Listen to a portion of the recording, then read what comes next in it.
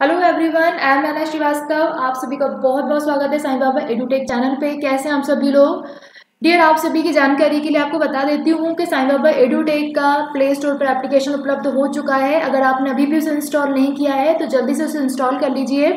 Application से related कोई भी जानकारी आपको चाहिए क्लासेस से संबंधित कोई जानकारी चाहिए नोट्स या पीडीएफ से संबंधित कोई भी जानकारी अगर आप चाहते हैं तो आप हमें स्क्रीन पे दिख रहे इस नंबर पर व्हाट्सएप कर सकते हो। आप चाहो तो डियर हमें हमारे टेलीग्राम चैनल पर भी ज्वाइन कर सकते हो। जिसका लिंक आपको डिस्क्रिप्शन बॉक्स में मिल जाएगा, ठीक है? तो आप सभी की डिमांड पर कुछ ऐसे टॉपिक्स के साथ मैंने वीडियोस तैयार किए हैं जो बहुत ही ज़्यादा इंपॉर्टेंट टॉपिक माने जाते हैं, जिनके बारे में अक्सर हम लोग को डाउट रहता है कि ये किस तरीके से वर्क करते हैं। कई बार हमने इनका यूज़ देखे होते हैं, लेकिन हमको एग्जैक्ट इसका पता नहीं पड़ता कि हम इसे कैसे अप्लाई करें, हम इसे कैसे यूज़ करें। जैसे कि आप लोगों में से मैं आप बता दूँ, जैसे बहुत सारे टॉपिक्स ऐसे होते हैं जिनको हमने कई बार देखा। जैसे कि हमारा जो लास्ट क्लास का टॉपिक था, वो हेड एड टू का था। कई बार सुना है कि हेडेड टू होता है, कई बार सुना है कि हैज़ हेड टू होता है, कई बार सुना है कि भाई हैव हेड टू होता है।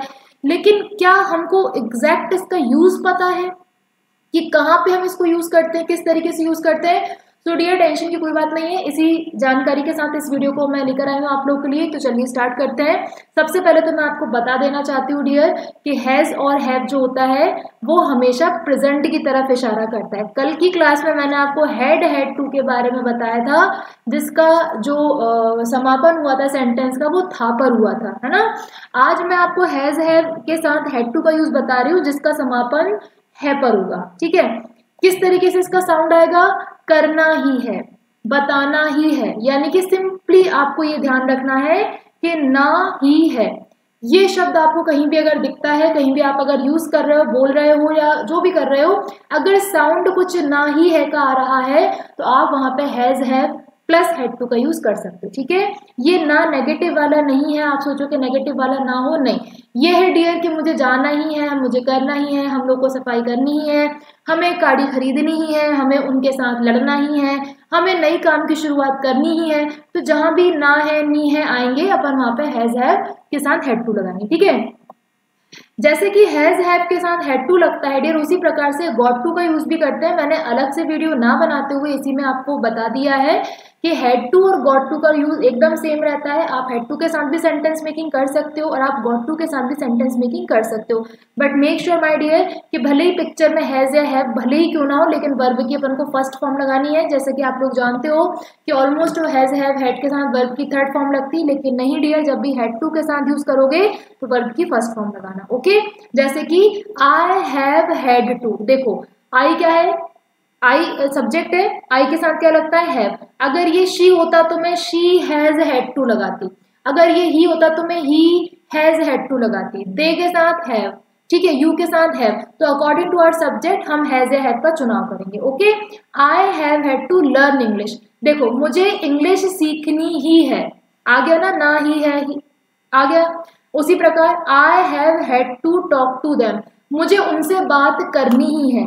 They have had to buy new house उन्हें नया घर खरीदना ही है। They have had to clean their rooms उन्हें अपने रूम्स को साफ़ करना ही है। ठीक है? अब आप जितने चाहो उतने सेंटेंस बना लो, बस मेक श्योर sure कि लास्ट में इस तरह के शब्दों से वो सेंटेंस खत्म होना चाहिए। ठीक है? जितने चाहो सेंटेंस बना लो किसी सेंटेंस को बनाने में प्रॉब्लम आती है तो कमेंट बॉक्स में कमेंट करके मुझसे पूछ लेना, ठीक है? अगली स्लाइड पर जाने के पहले मैं आपको यहीं पर एक और चीज़ बताती हूँ। अब भाई, मुझे अंग्रेज़ी सीखनी ही नहीं है। नहीं, मुझे बिल्कुल नहीं सीखनी, मैं तो हिंदी में खुश हूँ। मुझे इंग्लिश सीखनी ही नहीं है। कोई प्रॉब्लम नहीं है डियर वन टू और ये रहा आपका थर्ड तीसरे नंबर पे नोट लगा देना। एक, दो, तीन. I have not had to learn English मुझे इंग्लिश सीखनी ही नहीं है। I have not had to talk to them मुझे उनसे बात करनी ही नहीं है।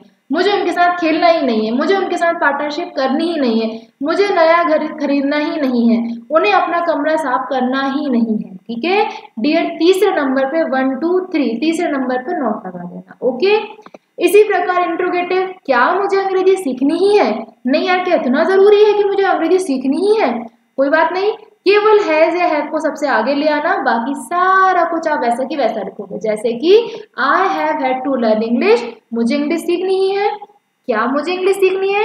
तो मैं इस हैव को हटा के आगे लगा दूँगी, पीछे क्वेश्चन मार्क लगा दूँगी। Have I had to learn English okay केवल हैज़ ए हैव को आगे लेकर आएँगे तो ये बन जाएगा आपका इंट्रोगेटिव देखो, मैंने नेगेटिव भी बना दिया है, ये सेंटेंस को नेगेटिव फॉर्मेशन दिया है। आप भी कोशिश करो प्रैक्टिस करो। कभी आपको अगर दिखते हैं तो बिल्कुल इनको एरर मत मानना कि हैव भी आ गया हेड भी आ गया। डियर ये एरर नहीं होते हैं। जब भी हैज़ हैव के साथ हेड टू या हेड के साथ हेड टू मिलता है तो वो इस तरह का सेंस देते हैं। बहुत सी बार मैंने देखा है कि एरर वाले क्वेश्चन में ये साथ में आ जाते हैं तो कई सारे लर्नर्स कंफ्यूजन के कारण उसको एरर बता देते हैं, जबकि डियर एरर नहीं होता है वो। और इस तरह का सेंटेंस भी अगर आपको कहीं दिख जाता है तो आप उसे एरर नहीं कहिएगा। आपको अब इस क्लास के बाद ये पता चल गया है कि किस प्रकार हम हैज़ हैव के साथ हेड टू या हेड के साथ हेड टू का यूज़ करते हैं, क्या सेंस निकलता है, वर्क का कौन सा फॉर्म यूज़ होता है, और किस तरह की आवाज़ ये लोग करते हैं, ठीक है? मुझे उम्मीद है कि आपको ये लेक्चर्स पसंद आ रहे होंगे। ऐसी कई सारी वीडियोस अपकमिंग है। आप लोग के लिए बहुत सारे जानकारी में लेकर आने वाली हूँ। इसलिए रोज चैनल पे जैसी वीडियो आया करे, तुरंत देखा करो। चैनल को अगर सब्सक्राइब नहीं किया तो जल्दी से सब्सक्राइब कर लीजिए। बेल आइकन को प्रेस भी कर दीजिए ताकि नोटिफिकेशन आपको तुरंत मिल जाए okay keep learning keep sharing thank you so much guys thanks for watching